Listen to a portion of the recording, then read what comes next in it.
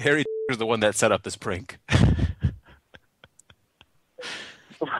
Listen, Wait, dude, he he called the freaking UD office to set up a prank.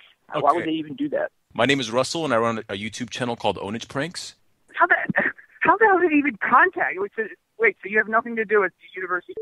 No, ba- basically, you know, I've been doing this prank thing for a while now, so I have some software set up on my end that allows me to uh, change the caller ID to any number that I choose. So just to kind of really maximize believability, it it was showing the uh, university number as you saw. There's nobody named Ty- there's nobody named Tyrone or Abdo or any of these fucking crazy ass names or anything like that at the office. I didn't want you to go run there and start like wreaking havoc, and then people being like, "Dude, what the hell is wrong with you? Nobody talked to you today." How the hell did he even get in contact with you? All right, let, let me give you. Let, I'll I'll tell you what he told me just to give you some context. Uh, let me pull it up real quick. So this is what he said. So here's the situation. One of my good friends goes to the University of. Last year, he was living in James Smith Hall dorm room in 305B in a single suite. He liked the room and decided to rebook it for the fall semester of 2014. He even had to pay a $200 reservation fee. When he drove all the way up to UD to book it on August 26th on the mandatory check-in day, he was told that his room had been double booked by mistake and that there was another guy already in the room. He was beyond pissed. And then there's like another two paragraphs about the situation and kind of gave us some details about it and how you hated being offered the refund, hence why I was pushing the refund and the whole like 210 thing, then 225.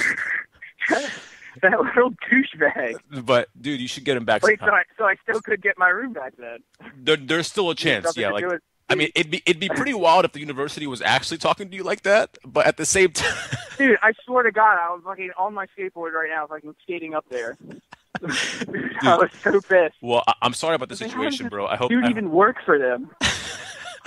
I hope that you are able to fucking get that room back. I know that's a super city situation, but you know, no need to sleep early or cuddle with your roommate. You know, none of that actually has to happen. No, no finders, keepers, losers, weepers. Dude, when you fucking said say finders keepers, I was like, are you fucking joking? It's ridiculous. Dude, I was dude when I told you to tiptoe around the room and work your calf muscles, I was gonna fucking lose it and start laughing so hard. Oh my god, dude, I, I, It- I dude, couldn't even fucking say anything. It took every like, ounce of my being to not fucking giggle at that line. Dude, I was dying, but you were awesome, dude. Your reaction was so amazing. But you, Christ. you're also like a really awesome sport too, so I commend you for that.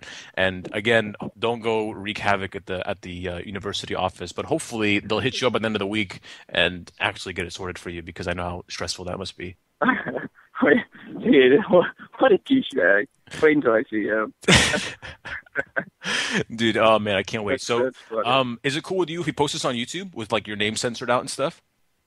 yeah, yeah, it's, I don't care. All right, sweet. You're the man. Um, when you're when you're free, check out some of this stuff on the channel. Maybe you and your roommate can check it out together.